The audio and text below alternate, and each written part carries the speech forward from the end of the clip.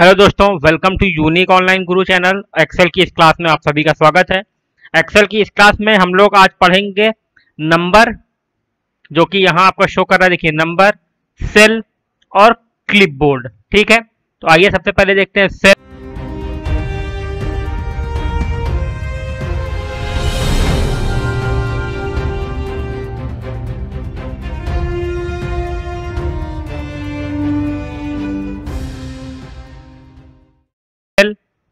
Cell में क्या है? देखिए इंसर्ट डिलीट और फॉर्मेट आइए देखते हैं। तो पहले हम कोई एक एक्टिव सेल ले लेते हैं, जैसे बी टू और यहाँ पे हम कुछ लिख देते हैं। जैसे कि मान लीजिए हम लिख देते हैं यूनिक ऑनलाइन गुरु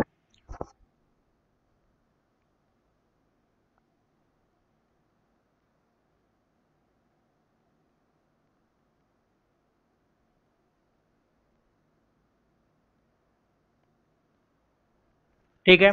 जैसे कि हमने इस सेल में लिख दिया यूनिक ऑनलाइन गुरु, इसको थोड़ा सा ऑटो फिट कर लेते हैं। ऐसे डबल क्लिक कर देंगे तो जो मैक्सिमम लेंथ होगी आपके टेक्स्ट की उससे सेल जो है आपका एडजस्ट हो जाएगा फिट हो जाएगा।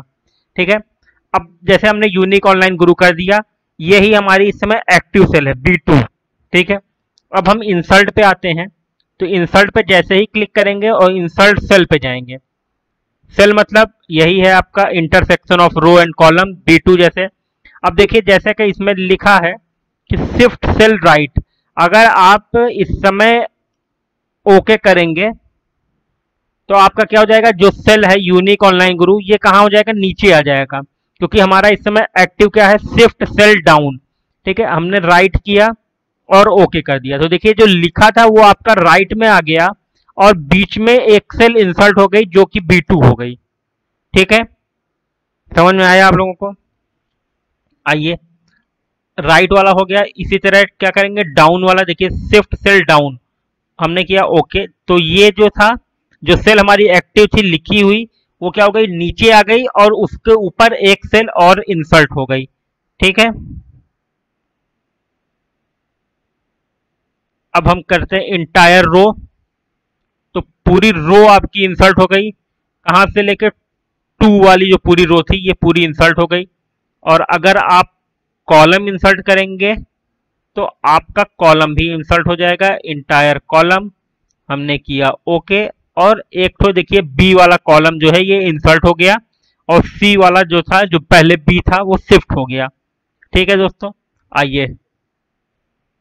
अब क्या है? इंसर्ट शीट रो ठीक है तो इसको जैसे ही करेंगे तो वो क्या करेगा? एक रो इंसर्ट कर देगा शीट का कॉलम इंसर्ट कर देगा, देखिए, इसमें कॉलम इंसर्ट कर दिया, ठीक है? अब इसमें क्या, एक शीट इंसर्ट कर दिया, जो कि देखिए, ये नीचे आप लोग को शीट वन और ये शीट टू हो गया, ठीक है दोस्तों? तो आइए देखते हैं डिलीट में आ जाते हैं नेक्स्ट ऑप्शन है हमारा, और एक्टिव सेल वही रखते हैं, जहाँ हमने लिखा है, ताकि डिफरेंस पता चले। देखिए डिलीट सेल जैसे ही करेंगे तो अब पूछ रहा कौन से सेल डिलीट करें? तो देखिए दोस्तों, जैसा कि उसमें ऑप्शन था कि हम ऐड कहाँ कर रहे थे? राइट में। ठीक है? हमारी जो सेल थी, वो राइट में मूव हो जाएगी। मतलब लेफ़्ट में ऐड हो रहा था। तो डिलीट भी कौन सी होगी? लेफ़्ट वाली। दूसरा ऑप्शन क्या था? हमारी जो सेल थी एक्टिव वो डाउन आ जा रही थी तो अप में हो रहा था। तो अप वाली डिलीट हो जाएगी अब। फिर इंटायर रो इंटायर कॉलम मान लीजिए हमने कहा लेफ़्ट ठीक है? डिलीट हो गई। ठीक है? फिर हम आ जाएँगे। हमने कहा अप तो अप वाली डिलीट हो गई। डिलीट आपको इसलिए वो दिख रहा है, जो लिखा हुआ है, क्योंकि एक्टिव सेल वही है। देखिए, पूरी पूरी रो और कॉलम डिलीट हो जा रही है। और डिलीट शीट का भी ऑप्शन है ये। अब ये इस समय यस कर दूँगा डिलीट तो शीट वन डिलीट हो जाएगी जिस पर हम लोग वर्क कर रहे हैं। तो कैंसिल करके शीट टू पे आएँगे और डिलीट पे आएँगे और डिलीट शीट डिलीट हो गई। ठीक है?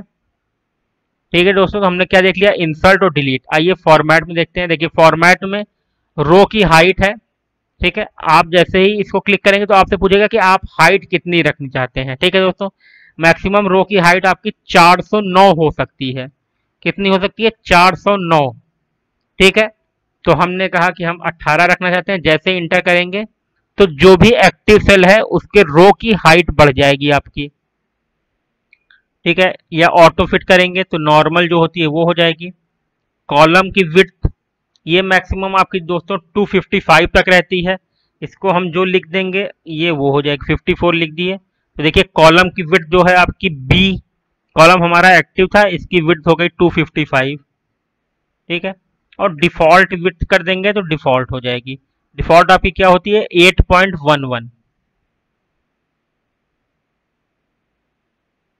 ठीक है? हाइड अनहाइड में हाइड रो हो जाएगा। देखिए, जो रो हमारा था, एक तो हाइड हो गया। फोर के बाद आपको सिक्स दिख रहा है। फाइव वाला हाइड हो गया क्योंकि वो एक्टिव था। ठीक है? हाइड कॉलम बी वाला देखिए कॉलम हाइड हो गया, क्योंकि जो आपका एक्टिव रहेगा, वही हाइड होगा। ठीक है एक्टिव रो कॉलम जो होगा, वही हाइड होगा। हाइड शीट अनहाइड रो अब देखिए, वो रो आ गई फाइव वाली। अब जैसे ही हम यहाँ अनहाइड कर देंगे अनहाइड कॉलम ठीक है? तो हम लोगों ने क्या देख लिया दोस्तों? इंसर्ट डिलीट और फॉर्मेट आइए अब देख लेते हैं। जैसे कि क्लिपबोर्ड में आपका लिखा कट कॉपी फॉर्मेट पेंटर तो फॉर्मेट पेंटर क्या होता है? दोस्तों जैसे मान लीजिए हमने यहाँ पे ये लिखा और इसमें कुछ फॉर्मेटिंग कर दी। जैसे इसको येलो कर दिए बोल्ड कर दिए हाँ और अंडरलाइन कर दिए। अब मान लीजिए यहाँ पे हम कोई नंबर लिखते हैं इस सेल में इंटर कर दिए। अब इसमें हमको यही सेम चीज़ चाहिए, ठीक है? तो हम क्या करेंगे? यहाँ क्लिक करेंगे फॉर्मेट प्रिंटर पे क्लिक करेंगे और इस सेल पे लाके क्लिक कर देंगे। तो आपका सेम जो भी फॉर्मेटिंग आपकी A2 में है, वो सेम फॉर्मेटिंग किसमें आ जाएगी आपकी? C5 में। और कट मतलब यहाँ से कट हो जाएगा और कॉपी मतलब कॉपी हो जाएगा। ठीक है? जैसे यहाँ क्लिक किए कट किया हमने। अब यहाँ पे आके हम राइट क्लिक करेंगे और पेस्ट कर देंगे। तो देखिए कट होके यहाँ से हट गया। ठीक है? और कॉपी मतलब क्या होता है दोस्तों? जैसे कॉपी हो गया और पेस्ट तो कॉपी मतलब उसकी एक कॉपी बन जाएगी दूसरे लोकेशन पे और कट मतलब वो उस लोकेशन से मूव होकर दूसरे लोकेशन पे आ जाएगा. ठीक है दोस्तों? अब देखिए जो कि ये आपका फॉर्मेटिंग है नंबर फॉर्मेट इसमें जर्नल है नंबर करेंसी मतलब आप जो भी नंबर लिखे होंगे उसके आगे क्या लग जाएगा? रुपीज़ का साइन लग जाएगा. देखिए, इसमें लग गया रुपीज़ कॉमा लग गया. ठीक है? डेट है, ये लॉन्ग डेट में मतलब आपका मंथ लिख जाएगा वो अल्फ़ाबेट में और शॉर्ट डेट में मंथ रहेगा आपका नंबर में, ठीक है? टाइम में टाइम आ जाएगा परसेंटेज आ जाएगा। ये आपका होता है दोस्तों अकाउंटिंग नंबर फॉर्मेट इसमें आप करेंसी चुन सकते हैं। English India United State United Kingdom और मोर अकाउंटिंग फॉर्मेट ये यहाँ पे आपका परसेंटेज लगेगा, ये कॉमा लगाएगा, ये इंक्रीज करेगा डेसिमल और ये डिक्रीज करेगा डेसिमल ठीक है दोस्तों? तो आज के लिए इतना ही। Thank you very much video को लाइक करें चैनल को सब्सक्राइब करें। देखते रहें, कोई भी क्वेरी हो, हम लोग से आप पूछ सकते हैं। ठीक है दोस्तों? बाकी जितनी भी आप लोगों को फॉर्मेटिंग दिख रही है, या टैब दिख रहे हैं, ये सब आगे जैसे जैसे हम लोग फॉर्मूले पे वर्क करते जाएँगे इनका यूज़ करते जाएँगे। ठीक है?